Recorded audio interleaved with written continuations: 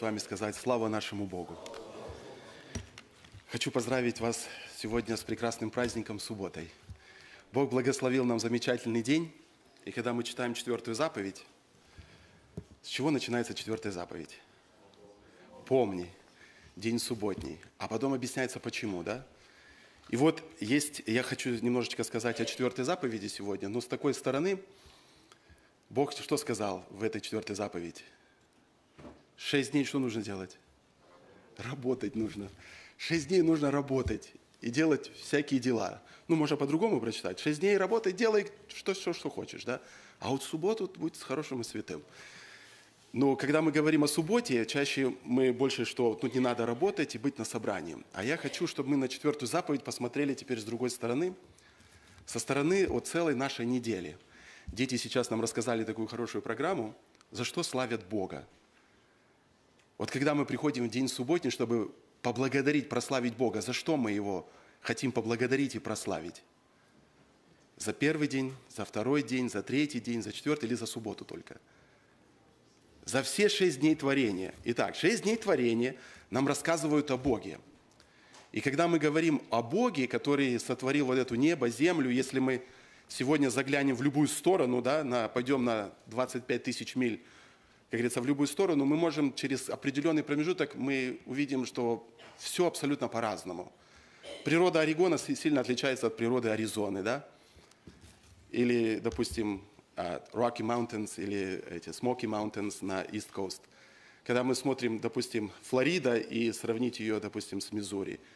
Или Айдахо, север Айдахо, да? Кто-то был в Кентаки или э, север Айдахо. Видели горы, которые сильно отличаются от других гор. И вот когда мы видим все это, Божье творение, когда смотришь, оно каждый раз удивляешься. Абсолютно разная природа, разные деревья, разный landscape. Мы замечаем Бога в этом – насколько Бог все интересно это все делает. Так вот, когда Бог сотворил первого человека, Адама да, и Еву, он им первая, одна из первых заповедей, которую он им говорит, такие слова. Это и, кстати, э, Ною после потопа он тоже повторил, его сынам то же самое. «И благословил их Бог и сказал им, плодитесь, размножайтесь и наполняйте землю, и обладайте ей, и владычествуйте». То есть Бог дает такое повеление – да, Адаму, что он говорит, плодитесь и размножайтесь, наполняйте землю и владычествуйте на ней. Если сегодня посмотреть на это по-другому, вот когда Бог сотворил, нам кажется, что вот самая лучшая мечта всех людей попасть в Эдемский сад. Вот Адам бы жил бы в Эдемском саду, и всем было бы хорошо.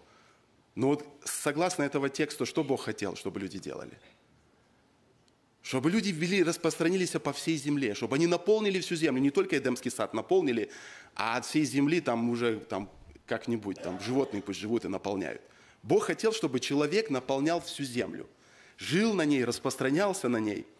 И вот сегодня, когда мы говорим об этом, я хочу, чтобы вы посмотрели на это как на заповедь. Вот обладать землю, пользоваться, трудиться на ней. И я хочу прочитать пару мест – из Библии, которые нам говорят о том, о предназначении человека. Мы все работаем, каждый на своей работе, каждый трудится, каждый что-то делает. Своими руками или какие-то предприятия делает. И вот э, есть, э, я прочитаю два текста. Один из книги «Экклезиаст», а одно из послания Колоссянам. Колоссянам, третья глава.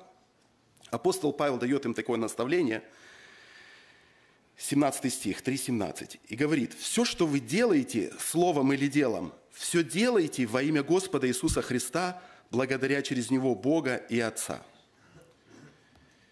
То есть, когда вы что-то делаете, делайте так, чтобы это было как во имя Господа Иисуса Христа. То есть, по вере.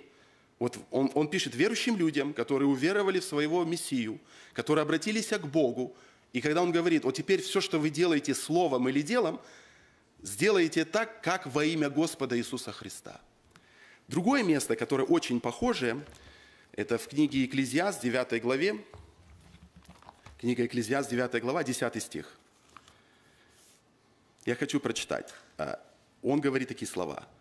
«Все, что может рука твоя делать, по силам делай, потому что в могиле, куда ты идешь, нет ни работы, ни размышлений, ни знания, ни мудрости».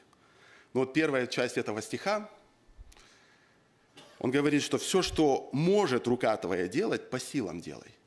Есть некоторые английские переводы, которые говорят э, do well. Не просто тут написано э, do it with your might, а там написано do well. То есть все, что рука твоя может делать, делай хорошо.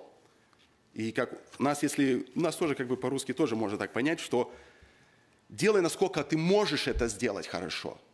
Почему он такое говорит? Вот э, зачем это нужно? Когда мы смотрим, или э, мы все с вами работаем, каждый на своей работе. Да? Вот кто-то врач, кто-то государственный чиновник, кто-то работает на стройке. А вы знаете, что в Библии, если вот посмотреть на разных библейских героев, которые мы читаем, начиная да, с книги «Бытия», у каждого из них, вот этих духовных лидеров, духовного такого мира, у них была профессия. Они чем-то занимались. Да? Вот если, к примеру, посмотреть, э, Иаков, а, Исаак, да? Вот кем был Исаак? Книга Бытия рассказывает за жизнь Исаака. Сегодня по-английски мы бы сказали, он developer, да, как бы сказал, land developer. Человек, который разрабатывал землю, у него были урожаи, были рабочие, которые разрабатывались, засеивали ячменем во время голода, и у него урожай был в сто раз. То есть, когда был голод, у него ячмень давал в сто крат. То есть, это был хороший предприниматель, как бы сегодня девелопер, который разрабатывал землю. Если посмотреть на Иакова, его сына, чем он занимался?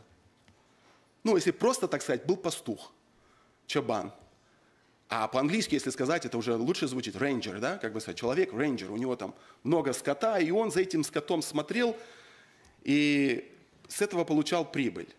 То есть это человек, который, э, который был такой же, как и все мы, которого было какое-то занятие, который чем-то занимался.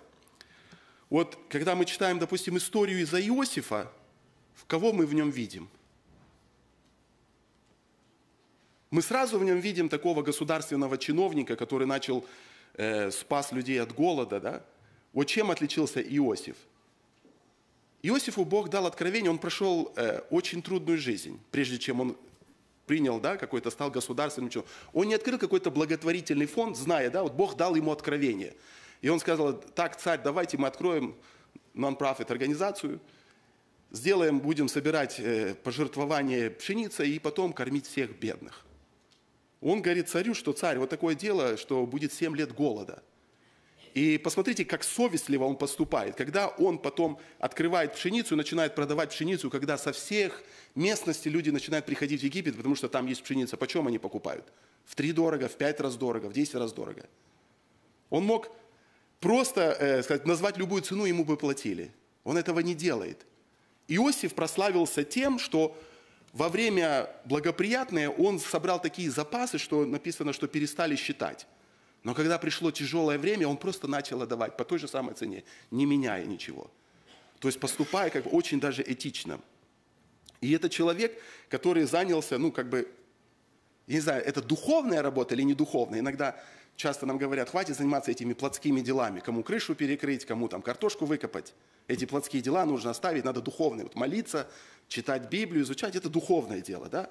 А вот машину какую-то зашпаклевать, или там, да, или еще там что-то отремонтировать в доме, это такое плотское дело, оно может и подождать. Но Библия не так говорит. Библия называет, что есть дела духовные, а есть дела плотские. И вот когда говорит Библия за плотские дела, это какие дела? Это не такие дела, о которых мы говорим вот повседневной нашей жизни, которыми мы зарабатываем себе на хлеб насущный или что-то мы делаем. И вот э, если прочитать книгу Даниила, да, книга Даниила очень интересная книга, и Библия рассказывает за юношей, которые, можно так сказать, были иммигрантами в не очень дружественной стране, которые, может, не по своей воле, но эмигрировали в эту страну. Что он начал делать? Этот юноша, будучи иммигрантом, пошел учиться в лучший университет Вавилона. Когда он туда попал и учился, там было множество других таких же, как и он, которые точно так же, как он, учились. И с ним был Бог тогда или не был Бог, когда он это все делал? Вот то, что он делал, был с ним Бог или нет, когда мы читаем эту книгу? Как его узнали, что это замечательный человек? Потому что с ним был Бог. Вот есть его как бы личные качества характера, да, этого Даниила. Потому что в чем его осудили? Хотели осудить, чтобы его... То, что он молился, да? То есть это было его личное, что он не мог жить без молитвы. Три раза в день, независимо от царского указа, он склонял свои колени и обращал свой взор к Богу. Но его буквальные качества, то, как он управлял страной, люди замечали, что он делает лучше, чем многие другие. А почему это у него получалось? Потому что с ним был Бог. И вот когда мы смотрим на верующих людей, да, апостол Павел пишет, когда все делайте как во имя Господа Иисуса Христа. Вот как это сделать так? То есть это как своего рода роспись поставить. Вот, знаете, есть договор между э, работодателем да, и работником. И вы, когда что-то делаете, да, какой-то договор заключаете, мы ставим роспись. И вот представьте, поставить роспись имя своего Господа. Да, то есть вот, что эта работа сделана хорошо, я за это отвечаю. То есть мы это гарантируем. Как бы, можно так сказать? И вот я знаю такую ситуацию, когда некоторые люди говорят, я с этими верующими никогда больше работать не буду. Его несколько раз обманули, э, настройки обманули, ну, как бы взяли деньги наперед, потом долго тянули, потом не могли это никак закончить, а в конце концов, просто из-за того, что нехватки времени, многие вещи не доделали и бросили, и закончили так. И этот человек, такой расстроенный builder, говорит, я никогда, говорит, с этими верующими больше работать не хочу. Вот люди поставили роспись. Он знал, что они верующие люди, и они вот так поступили. Кого они прославили? Да? Или кого они показали – этому человеку. Он подумал, что раз верующие, значит, это хорошие люди. Много раз мы э, ездили на Мексику, да, с миссией. И вот, вы знаете, на таможне какое опасное слово нельзя говорить. Если вы не хотите, чтобы вас проверяли абсолютно и полностью, никогда не говорите, что вы верующий. Потому что если вы скажете, что вы верующие, с церковью едете, вас сто процентов будут досматривать всю машину прямо сразу. Почему такая репутация? Как так получается, что... Потому что люди думают, ну мы верующие, вот у них есть там этих американцев законы, а у нас свои законы, мы по своим законам живем. Это мы думаем, что по совести можно, и все. Они думают, как это верующие такое могут делать, да? И у них уже как правило, если человек начинает только говорить, что он такой религиозный или верующий, точно надо обязательно его проверить. Досмотреть. Он же верующий, ему какая разница, все равно с ним ничего не будет. И вот, когда мы об этом всем рассуждаем, вот э, Библия говорит, кем Адам был. Да? Первый человек на земле, он кем был? Landscape щиком. Да? Или как сказать? Человек, который ухаживал за землей. Садовник. Да, по-английски landscaper. Вот кто есть landscaper, у вас профессия Адама. И вот э, Бог его таким сделал, вот этот сад Эдемский сказал за ним ухаживать. И казалось бы, в чем была духовность Адама? В том, что он во время полудня мог беседовать с Богом – или то, что он мог обрезать эти деревья, ухаживать за садом, который поручил ему Бог. И вот каждому из нас в жизни достается какая-то профессия. Выбираем ее случайно, кто-то нас позвал, кому-то оно легло на сердце, кому-то оно просто повезло, и люди начали заниматься каким-то делом. Библия рассказывает, что Иисус, отец Иисуса, был плотником. Да? По-гречески вообще это тек, ну, э, слово греческое, знаете, э, technology, да, вот первое слово этого tech, оно означает, э, это профессия, которая была у Иисуса. Он, я думаю, что он тоже был сын плотника, что-то умел делать своими руками. Я думаю, что, может быть, что-то он и делал своими руками. И Библия рассказывает, что когда он приношел в одну из синагог, они знали, что это чей сын? Плотника. То есть они знали его по какому-то делу, по какому-то искусству. И вот э, первое послание Коринфянам, 4 глава, Второй стих. Можете высветить. Апостол Павел пишет о духовных вещах, но я вам хочу посмотреть и на обратную сторону духовных вещей, потому что любая притча познается в чем? Обычный смысл. В первую очередь обычный смысл. А потом можно уже какую-то духовность выводить, если она там есть. Он говорит, и так каждый должен разуметь нас, как служителей Христовых и домостроителей тайн Божьих. А домостроителей же требуется, чтобы каждый оказался верным. Вот когда э, вы заказываете какую-то работу, вам дом строят, что вам нужно, который сантехник пришел, чтобы он как вам сделал трубы? Хорошо ли, что вы спали спокойно, или что вы все время переживали, а может он там что-то не доделал, а вдруг потечет, а вдруг что-то не то будет. Вот вы сталкивались с такими ситуациями, когда вот вы даете там человеку машину отремонтировать или что-то сделать, Человек говорит, да, да, я сделаю, и не сделал.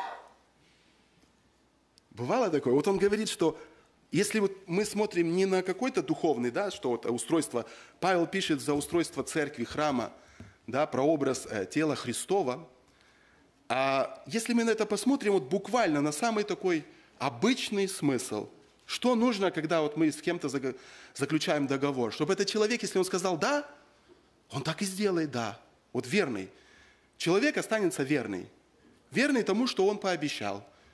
То, о чем вы договорились, а что это нужно сделать, он это скажет, он это объяснит, и он это сделает. И вот мы говорим за какую-то вроде бы э, стройку, но а как люди проверяются? Апостол Павел говорит, благодарю Господа моего, что он нашел меня каким?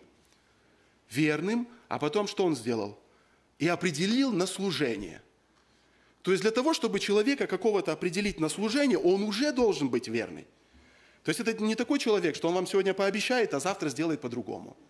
Или скажет, я передумал, мне неудобно, мне невыгодно, у меня не получается, у меня сейчас времени нету. Он так не будет говорить. Если он сказал, что я это сделаю, значит, он это сделает. И вот я снова возвращаюсь к тому стиху, где апостол Павел говорит Голосянам, «Итак, все, что вы делаете, делайте как? Как для Господа». А как это вот для Господа? Вы знаете, что большую часть своей жизни люди проводят на работе. И мужчины, и женщины все проводят на работе. Будь то это управление домом, хозяйством, воспитание детей, а кого-то огород, сад или просто какая-то труд, работа – Потому что когда мы проснулись, а первым делом вот мы проснулись, приготовились, а мы куда идем? На работу. Вот придет понедельник, мы пойдем все на работу, да? И часов 10 мы где-то будем отсутствовать в доме. То есть, и если вот от, отнять детство и старость, и вот это только взять такой плодотворные годы жизни, это треть нашей жизни. Практически мы где-то трудимся, мы что-то делаем. И если посмотреть на это с той стороны, когда Бог сотворил человека, Он дал ему какое-то предназначение. Не просто так вот э, ты родился, у тебя есть руки, глаза, способности или там какие-то таланты, знания, увлечения или желания. То есть Бог тебя уже для чего-то создал, ты для чего-то предназначен. Ты что-то можешь делать. И когда Бог для этого человека предназначил, э, вот это время, которое человек проводит – а как он его проводит? Есть такое, говорит, что вот э, выбери, иногда на бракосочетание, вот что на первом месте кто должен быть? Бог, семья, работа или служение? И знаете, есть такие курсы для служителей, подготавливают. У кого-то на первом месте, говорят, служение, или там Бог, служение, а потом уже семья, или... То есть, есть это специальный такой провокационный вопрос, что может человек разделить Бог, служение, семья, работа, или оно неделимое все – знаете, я рассуждая над этим, я пришел, что это, эти вещи, они неделимые, потому что если Бог, Он с нами, Он Бог и в нашей семье, Он и Бог, который с нами в служении, Он и Бог, который с нами на работе. Он нас везде сопровождает. Все, что мы делаем, мы делаем. То есть, если человек печет хлеб, да, месит тесто, он это как делает? Он это делает с Богом. То есть Бог дает ему мудрость и способность трудиться, приносить добро людям – Потому что если он спекет хороший хлеб, да, вот женщина спекла хороший хлеб, и все кушают, и им вкусный такой хлеб, а как у ней на душе? А ей приятно, да? А ей бы сказали, лучше бы ты молилась там, да, 6 часов. Ну, как бы муж сказал, зачем мне этот хлеб? Вот молилась бы ты 6 часов, вот мне было бы хорошо. Нет, он голодный, хлеба хочет. Понимаете, и вот есть вещи, которые мы замечаем, когда нам кто-то что-то делает – и нам приятно это. Это часть нашей жизни. И вот э, Евангелие Луки, 17 глава, 21 стих. Ученики говорят, да? Евангелие Луки 17, 21. Ученики задают Иисусу вопрос. Где есть у вас Царство Божие? Оно где, Царство Божие? Он говорит, внутри вас есть. Вот это состояние ума, разума человека, вот это мир, который в Боге, он уже внутри человека. Когда человек что-то хочет сделать, оно уже внутри у него есть. Но если в нашем сердце есть это Царство Божие, и вот мы, когда что-то делаем, мы его проповедуем, вы знаете, мы его проповедуем. Вот хотим мы или не хотим мы, мы это проповедуем, мы это делаем – и когда человек что-то делает, да, люди уже могут судить э, по его делам, вот видя его поступки, видя э, качество его работы, его дела, они могут судить, какой это человек. когда люди заметили, что а, за Иосифа, да, ибо в нем пребывает высокий дух, за Даниила тоже, что этот человек, в нем, вот там был, э, это, за Даниила, помните этот э, Валтасар, он говорит, помнишь, говорит, там был такой Даниил, ибо в нем пребывает высокий дух. Говорит, позови его, может, он объяснит вот это, что там рука написала.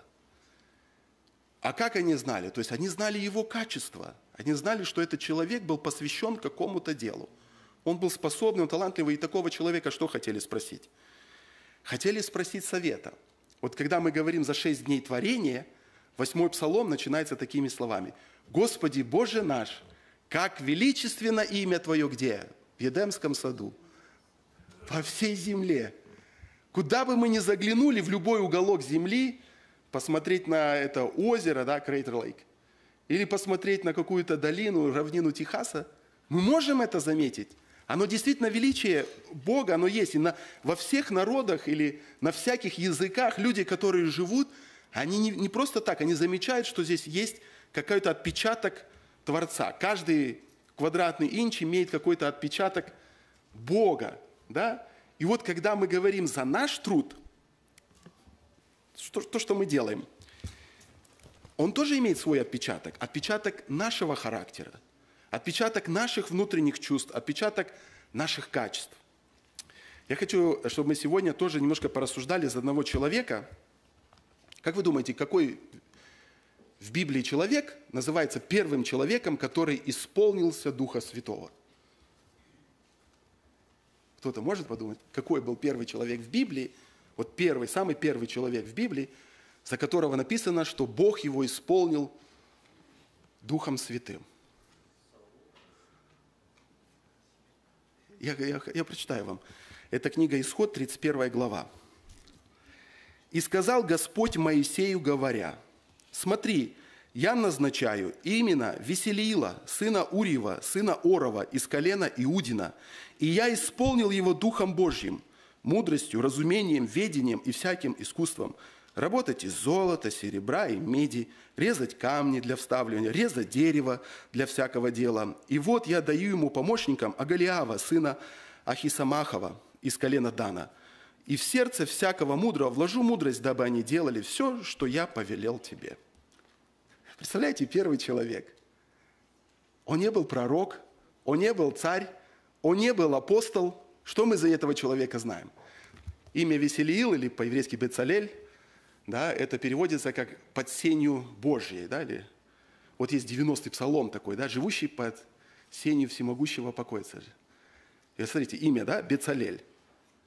А как этот человек вот с таким именем вдруг Бог говорит, что я исполнил его Духом Божьим для какой работы?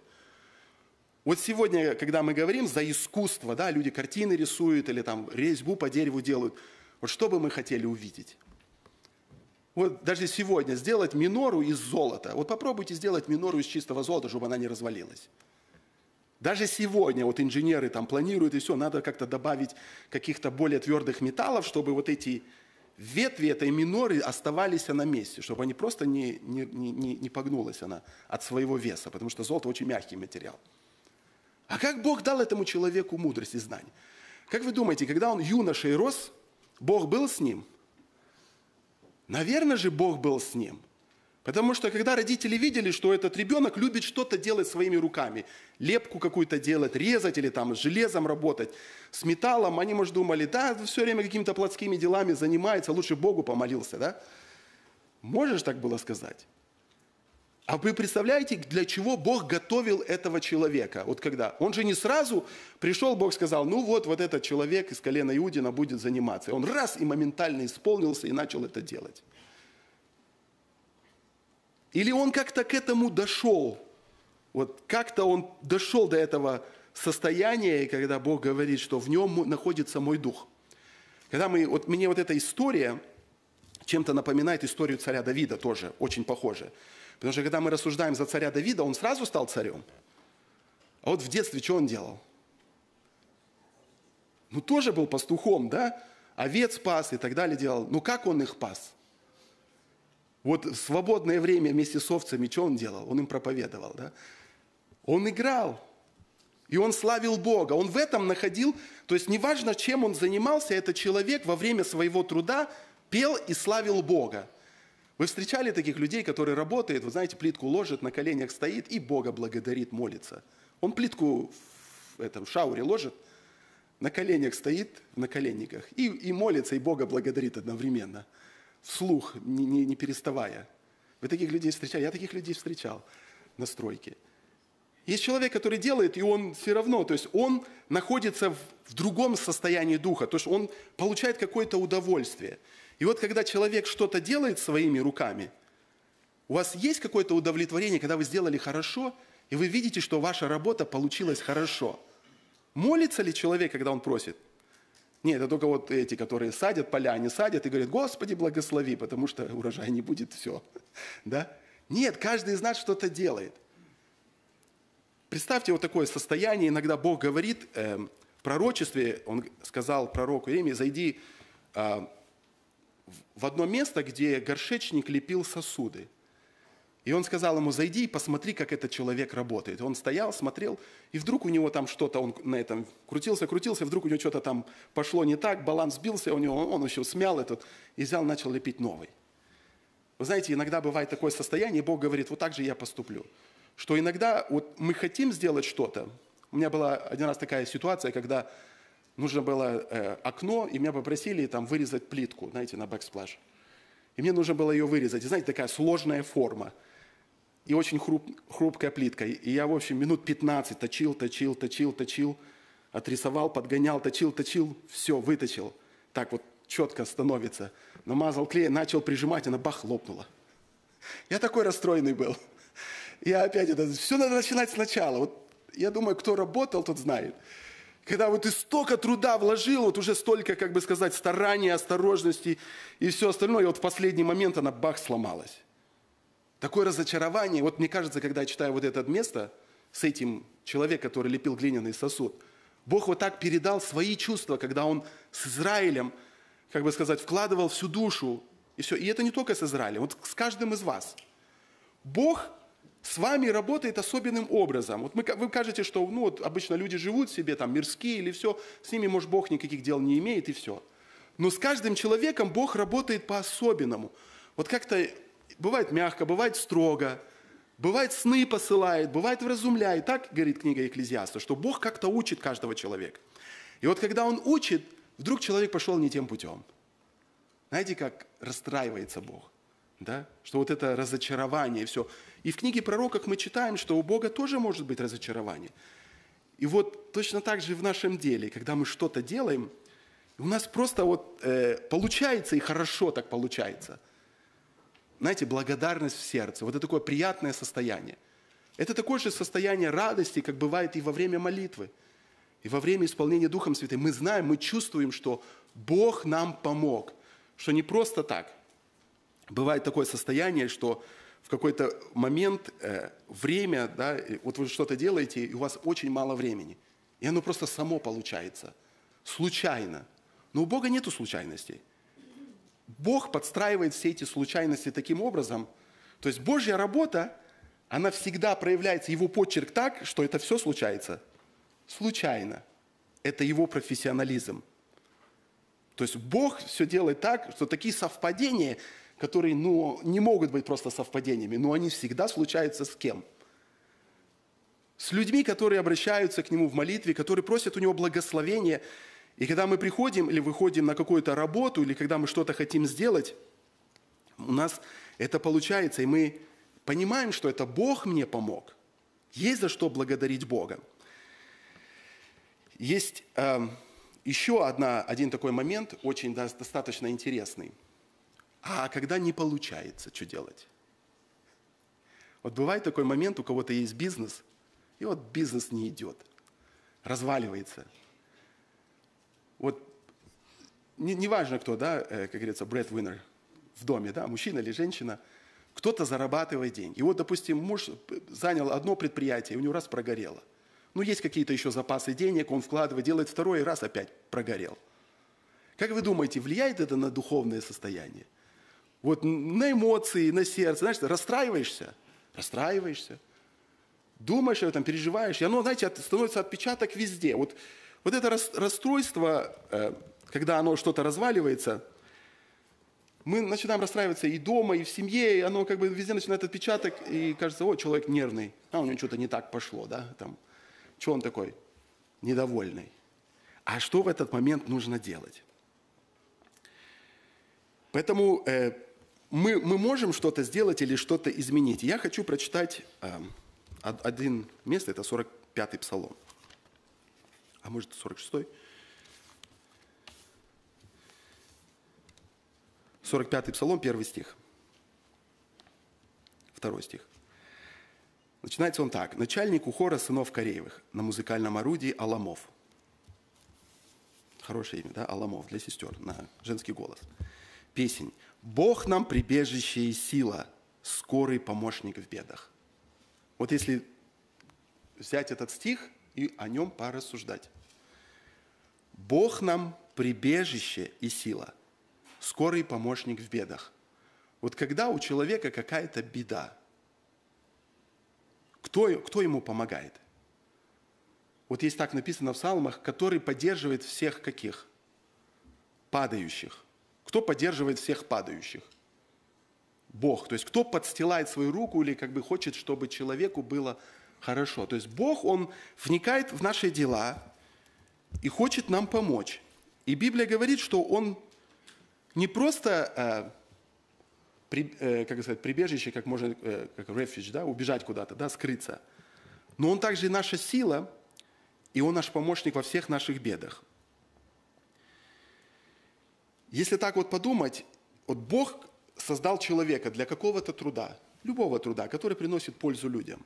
Да? И Библия говорит, что пользуйтесь этой землей, распространяйтесь на земле. Как можно распространяться по земле, если не, вот, допустим, поселиться в пустыне, вот надо воду, надо скважину, надо от жары укрыться, надо дом, надо крышу, надо какие-то продукты питания, да, вот все. И люди этим занимаются, люди э, развивают разные отрасли, садоводство, рыболовство, многие вещи. У людей Бог дает знания, мудрость и способность этим людям. И вот когда что-то не заладилось, к примеру, как вы думаете, это по воле Божьей или не по воле Божьей? Если так рассуждать, вот по идее Бог сотворил эту вселенную, Он царь над этой вселенной. Все делаем как во имя Господа Иисуса Христа. Мессия, который царь, который всем управляет. Дело, которое вы ведете, это вам временное дело. Вы же не будете с этим делом вечно заниматься. Иногда люди так себе вечность. Что мы будем делать в вечности? Вот что будут верующие люди делать в вечности? Играть на арфах и песни петь. Ну все тогда, какая нам еще профессия нужна? Песни петь, играть на арфах. Вот только посмотреть на эти небеса, на эти количество звезд, которые Бог сотворил, миллиарды да, звезд, солнечных систем по всей Вселенной. Если так посмотреть, вот эту космическую Вселенную такую, сколько Бог устроил звезд. И они же для чего-то созданы. Наверное, Бог хочет, чтобы мы их, о них что-то узнали. Вот если так посмотреть на жизнь людей на планете Земля – ну, вот, миллиарды людей на протяжении тысяч лет исследовали эту землю. Кто-то исследовал дно океана, кто-то исследовал какое-то перо птиц, разных редких птиц. Кто-то рисовал карты космоса, звезд и там, законы физики.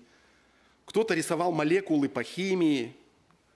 Да? То есть вот у него интересно там было, как вот это, этот элемент с этим работает. Не всем это интересно, но кого-то это просто восхищает. Кто-то работал с металлами, разные сплавы, металлы делал, добывал, обрабатывал. Если посмотреть даже на многую сегодня сельскохозяйственную технику или на разные производства, фабрики, заводы, почему столько пищи, одежды и много разных э, редких металлов, полезных вещей сегодня нам так легко доступны? Потому что были такие люди, которым Бог дал мудрость, как это сделать. И это благословение сегодня для нас – что с маленькими ресурсами можем получить такой обратный. И вот Бог, когда Он сотворил, я так думаю, что когда люди говорят, что будем жить на небесах, это и буквально переносном смысле. Что, что э, там строят где-то там на Марсе что-то там, колонию, что Бог даст какие-то знания и законы людям. Люди смогут это сделать. Представьте себе тысячелетнее царство. Нету ни войн, Нету, не надо готовить там технику для вооружения. Чем люди будут заниматься? Вот какими-то научными работами. И знания, которые будут продлеваться, я так, не из одного поколения в 20-30 лет до другого поколения в 20-30 лет, а в 300 лет и до 300 лет, там, тысячу лет, а в тысячу лет. Представьте, какое знание может умножиться и способности, и таланты, да? И, возможно, люди будут также перемещаться сегодня. Библия говорит, что э, за человека, что немного ты умолил его пред кем? Пред ангелами, да, восьмой псалом. То есть ангелы же летают как-то. И вот, а человека Бога, Бог не намного умолил перед ангелами. Сегодня мы это не знаем, но Бог положил в способность человека огромные вещи. Но Бог сказал и ответственность, как это нужно делать. Опять же, возвращаясь в тот экклезиаст, когда тебе что-то нужно делать, как это делай? Делай это хорошо, делай это качественно, делай это ответственно. И вот что делать, когда бизнес не ладится? Первое, это надо прийти к Богу. Нужно прийти к Богу и сказать, Бог, если, если вас, вам Бог дает какое-то дело, и оно у вас не ладится. Вот начальник, да, поставил вас на какую-то работу, она не идет. Кому нужно идти? Надо идти к начальнику. Пойти и сказать, что вот мне чего-то не хватает, мне что-то не ладится, нужно этот вопрос разрешить. Книга Иеремии, 32 глава, 27 стих. Бог в этом пророчестве рассказывает, что Он сделает одну вещь. Он говорит, что если, э, говорит, я Господь, Бог всякой плоти, если что невозможное для меня. Так вот, если вы дальше будете читать это пророчество, Бог сказал, что придет на Навуходоносор, он разрушит и сожгет все дома. Знаете, какие? Он говорит, разрушит все крыши, на которых бы делали возлияние богини неба, и сожгет все дома, которые приносили жертвы вал. То есть Бог говорит, что не просто так, что вот придет поражение по Иерусалиму, и вот там войско прошло, и вот это все, что рядом с войском, было уничтожено. А так избрано произойдет. Вот здесь это делали, мерзость какую-то, вот это будет уничтожено. Вот здесь делали, и это будет уничтожено. А тут не делали, вот слева и справа делали соседи, а тут не делали. А значит, это будет стоять. А Бог говорит, что если что-то невозможное для меня, и вот представьте себе, если у кого-то не ладится какой-то бизнес, дело, труд какой-то, который он делает, кому нужно идти? Нужно идти к Богу, у которого нет ничего невозможного, который может рассчитать, как бы сказать, во время войны и хаоса дом, который под снос, а дом, который нужно оставить. И это будет все делаться как? Произвольно. Вот э, один вопрос, который мне задали дети, они задали такой вопрос. Вот Бог говорит пророку Илии, да? Иди, говорит, в Сарепту Сидонскую. Там есть кто? Женщина, вдова. И что Бог говорит? Я ей что? Я ей повелел кормить тебя. А вот как ей Бог повелел кормить пророка? Вот вы никогда не думали про это? Как же Бог ей повелел кормить Илью. Мы читаем, что приходит Илия, видит женщина, говорит, эй, женщина, ты куда идешь? Она говорит, иду собрать дрова. Мне немного, говорит, масла и муки осталось, сейчас спеку, поедим и умрем. Он говорит, ладно, говорит, не надо умирать. Говорит, сначала для меня сделай, меня покорми, потом будешь и своего сына кормить. Это. Вот где, где Бог ей сказал, что вот она должна кормить Илью? Откуда вот эти чувства или желания, которые в сердце человека, что он вот так надо сделать? Вот Бог пришел к царю Кирскому, сказал, вот ты исполнишь мое слово, и ты вот так, вот так сделаешь. Или Бог ему положил это в сердце, или пришел какой-то пророк ему об этом сказал. Как это происходит с человеком?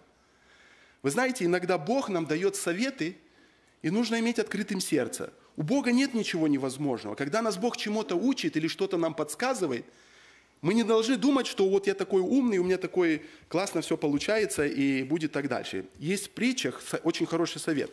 Соломон его дает. Это притчи 3 глава. Я прочитаю.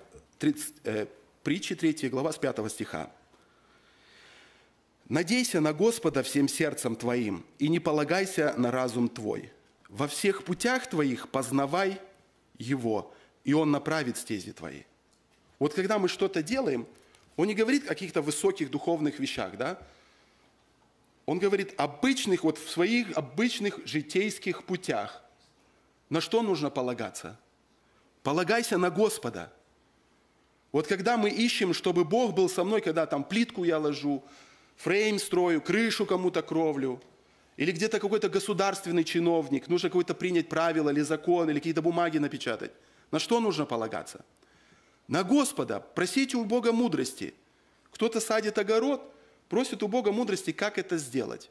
Потому что даже повернуть грядку так или вот так поставить, знаете, с севера на юг или с востока на запад, иногда играет роль. Откуда дует ветер, откуда светит солнце. И иногда Бог это подсказывает людям, люди это делают. Мало людей, которые могут это рассказать и объяснить, почему. Но иногда Бог ложит на чувства, и люди делают, и у них получается, они не знают почему. Но кто направляет шествие человека? Почему не нужно быть заносчивым, он говорит, не полагайся на, на себя, на разум свой, что вот я умный, я сейчас все сделаю. А все равно полагайся на Бога, потому что когда мы полагаемся на Бога, мы и кого благодарим? Бога. Бог дал такую заповедь народу израильскому, когда они приходили с плодами, да, и вот они приносили плоды и сказали, это все, что кто мне дал? Господь. И так благословляй Господа, который дает тебе все так обильно, да, для наслаждения. Павел к Тимофею пишет – благодарите Его, потому что Бог дает нам все обильно для наслаждения. Но как это происходит? Когда мы понимаем, от кого это все происходит. Есть еще одно место, а, это тоже притча, 22 глава, когда он говорит, что «Видел ли ты человека...» 20, э, да, 22-29. «Видел ли ты человека проворного в своем деле? Он будет стоять перед царями, он не будет стоять перед простыми». То есть это человек, который не просто способный, а который сделает, хочет сделать хорошо и быстро. Который начал дело и закончил дело. Вот не, расти, не растягивает. Где он будет стоять? Как у него бизнес будет идти? Разваливаться? Будет искать, ну возьмите, наймите меня. Поеду в Хомдипа, в саду, буду просить, возьмите меня. Нет, это Библия говорит, что его к царям будут звать, князья, его будут искать, чтобы этот человек, чтобы не тот мне сделал, я хочу, чтобы тот человек мне сделал. У меня была такая ситуация, когда мне начальник посылает, я так не хотел идти, а он говорит, что нет, только ты должен сделать. Потому что люди услышали, что э, ну, как, получили рекомендацию от других, от своих соседей. И они говорят, нет, нет, нам, ну, они меня в глаза никогда в жизни не видели. Они говорят, там Иван должен прийти сделать. И с одной стороны приятно, да, что, о, именно вас позвали. Но с другой стороны это ответственность. Когда мы понимаем, что к чему это. Поэтому вы знаете, вот у нас, когда у нас что-то хорошо получается, что нужно делать?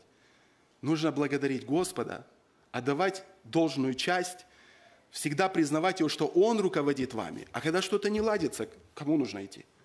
Тоже нужно идти к Господу, потому что Господь может управить. Я хочу, чтобы мы сегодня заметили, что вот эти шесть дней, которые Бог нам сказал работать и делать всякие дела, что это не просто э, ваше развлечение, что вы можете что хотите делать. Библия нас учит, чтобы мы должны во всех этих поступках, во всех наших делах, когда мы планируем эту неделю и когда вот мы приходим в субботний день, если бы мы сегодня могли подвести итоги не Божьему творению, да, вот как Бог сотворил шесть дней, небо, землю и все, и мы приходим Его, благодарим, радуемся, да, все, что сделал Бог. А вот что я сделал на протяжении этих шести дней – для людей, ближних моих, людей окружающих, для своей собственной семьи.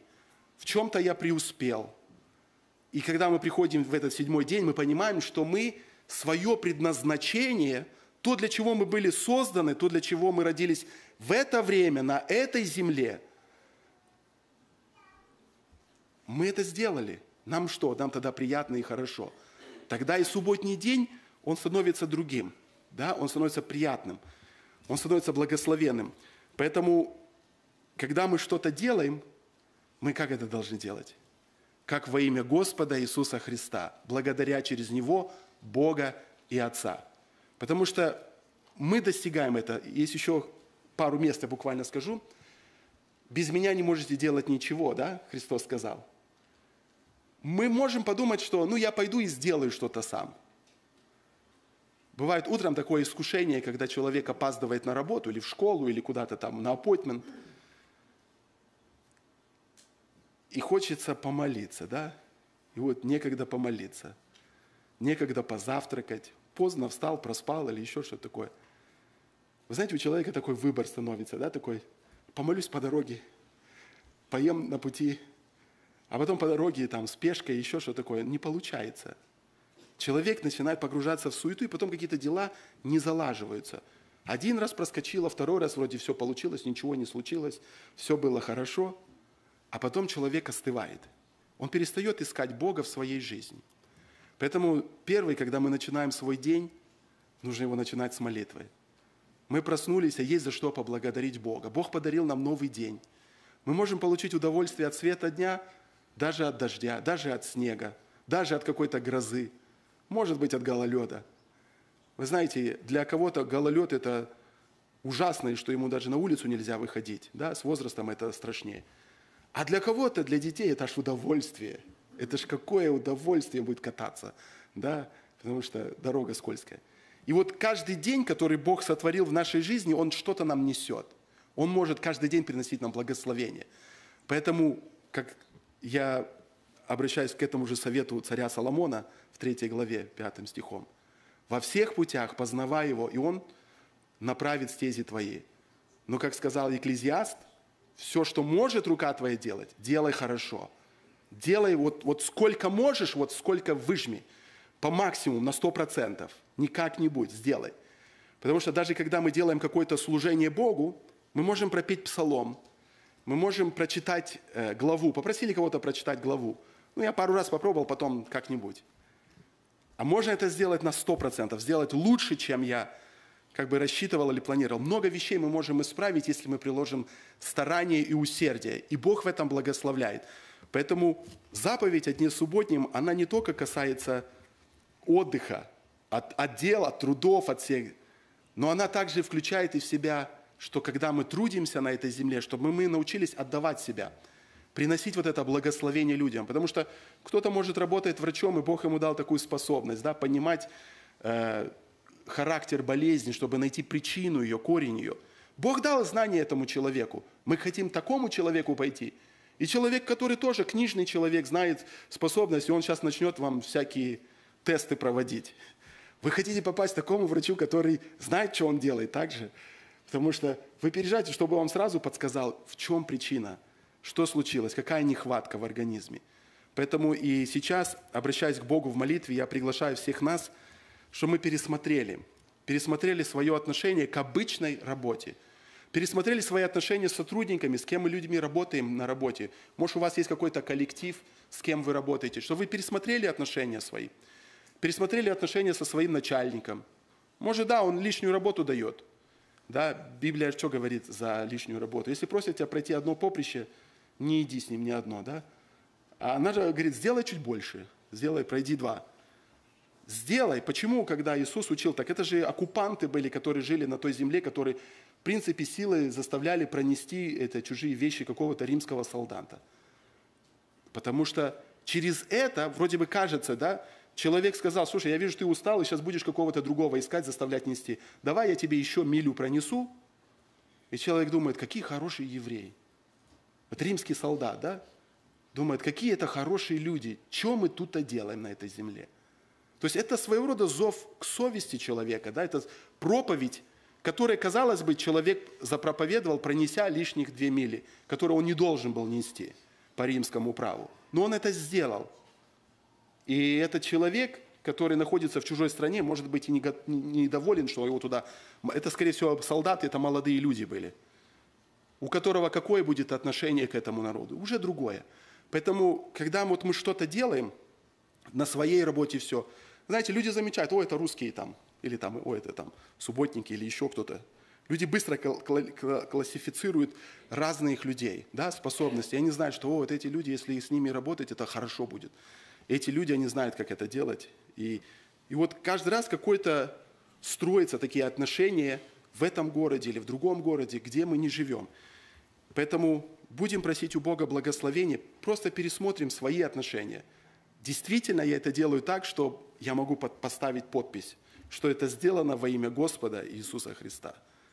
Или я на, какое-то, на какое-то дело не могу это поставить. То есть не совсем по совести я поступил. Не совсем я сделал это так, что если бы я сказал человеку честно, что я не доделал, он, может быть, мне даже и не заплатил. Давайте мы помолимся и за все поблагодарим Бога.